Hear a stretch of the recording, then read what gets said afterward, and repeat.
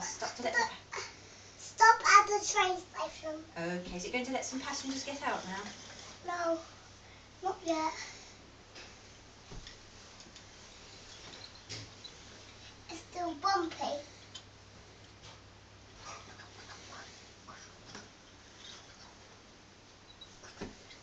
It's still at the train station. Is it going to let some passengers get out now? No. It's a very long journey for those poor